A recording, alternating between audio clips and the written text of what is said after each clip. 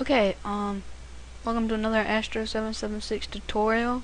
Um, this one was told to me by um, Tutorial Co NR. I asked him if there was a way to make the taskbar in Vista like where you could dock stuff in it like the superbar in Windows 7.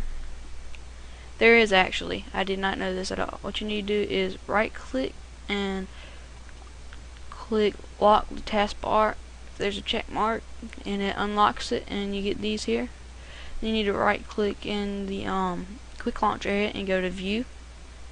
And it should be on small icons by default and then you click large icons. And then you can um, move this. Whoa oh. Oh.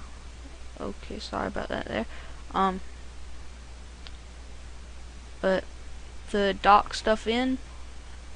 Say I want to dock in Adobe Photoshop. Just drag it in and lock it and it is now docked in there. So I can now run it straight from there and it's like the Windows 7 um, super bar. Um, I hope this has helped. Um, sorry for it being such a quick video. Um, I'll do one longer soon, I promise. Um, thanks again. Rate, comment, and subscribe.